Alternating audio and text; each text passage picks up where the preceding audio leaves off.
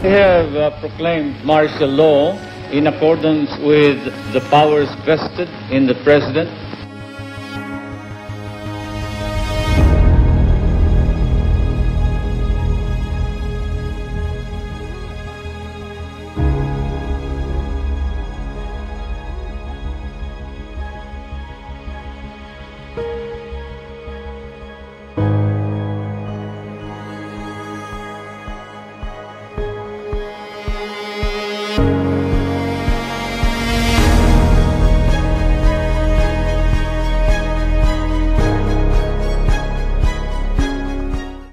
Well, actually, ng martial law, uh, I was grade 6 going to first year high school.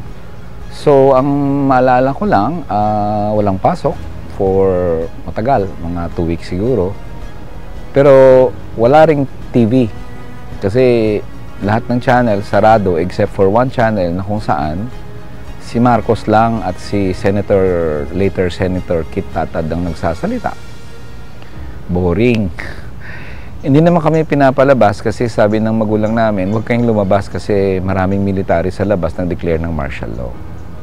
Later on, we began to question the, the regime.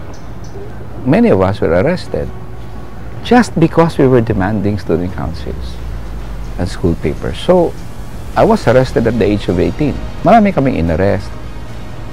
Ah, ako, inuli ako, kinuha ako, din, sinakay lang ako sa taxi. They're not even afraid na sabihin ng taxi driver, ano yan, bakit? No, they're not afraid. Then, torturein ka. Ang torture would range from bugbog. Papaluin ka ng puno ng baril, sampalin ka. I was made to confess. Sulat ko daw na NPA ako. Hindi ako NPA. Tapos, pag hindi sila satisfied na hindi mo inamin, papakainin sa akin yung papel na sinulatan ko. So, ang isang torture na hindi ko malimutan, yung Russian roulette. 2, 3 in the morning, kukunin ako sa cell ko, and then, dadalhin ako sa isang kwarto, pinakita niya sa akin yung revolver niya, tinanggalan niya ng lahat ng bala, naglagay siya ng isang bala, ikot, ikot, ikot, tapos balik, tapos ipasok sa bunganga mo yung revolver. Russian roulette is quite famous eh. So alam ko, oh my God, I mean, tapos sabihin niya sa'yo, are you, English eh, lasing siya eh. Are you lucky tonight, punk? Ganun siya sa akin eh. So, alam mo, ang sabi ko nga lagi, pag nasa loob yung barrel ng gun, ang lamig. Kasi ang lamig talaga nasa loob eh. Eh, nervyos ka na nga, andyan pa yung steel sa loob ng ano.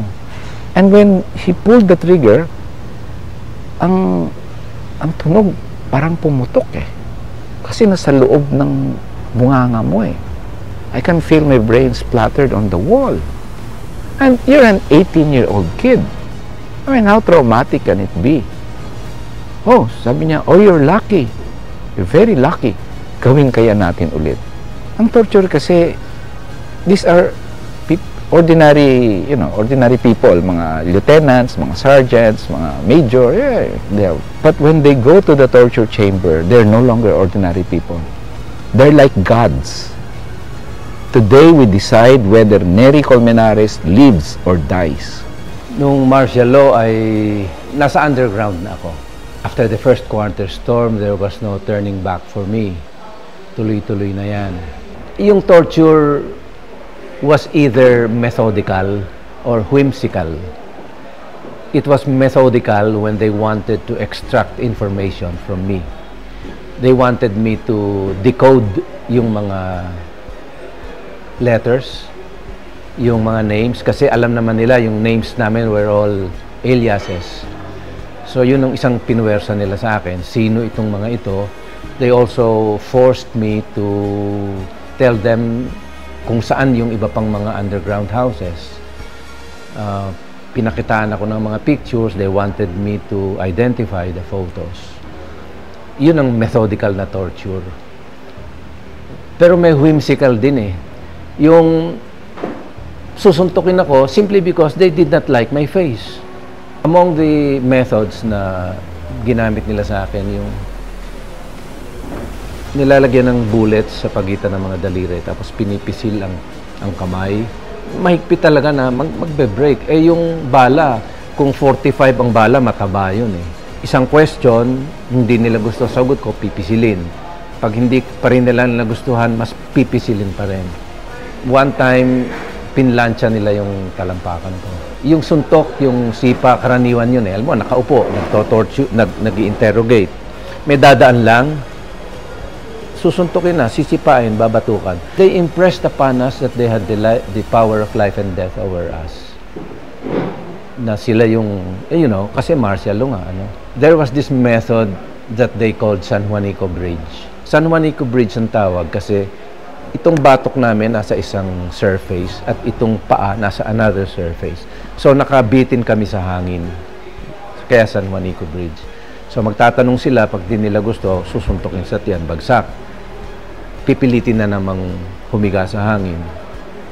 Hanggang hindi hindi na, na hindi ko na kaya. Ang isang mahirap na torture na na hindi ko pa I, I was in denial for some time when they tried to insert a, a stick through my penis. After some time, humihina ako ng dugo eh, sa, sa tindi ng torture. Hindi lang yun eh. For more than a year, we were kept in a cell na napakaliit. We were around 20 and there was no bathroom. There was no toilet. So for almost one year, umiihi kami sa lata. Sa, sa tabi ng pader, dumudumi kami sa dyaryo. Kitang-kita ng lahat. Y- yung inhumanity, grabe, grabe talaga.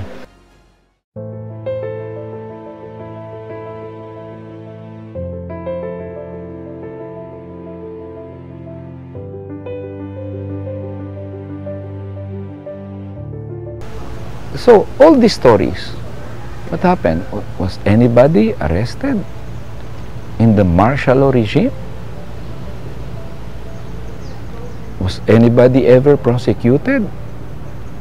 Tapos sabihin nila, move on? How can we move on?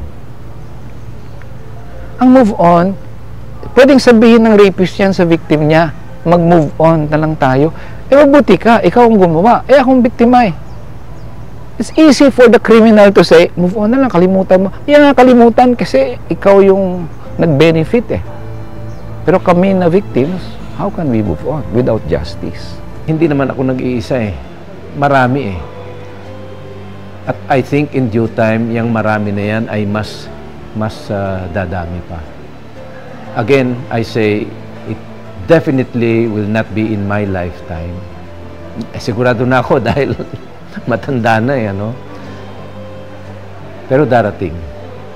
I, I think, ganun din ang sinabi ng mga bayani natin nung nakaraan.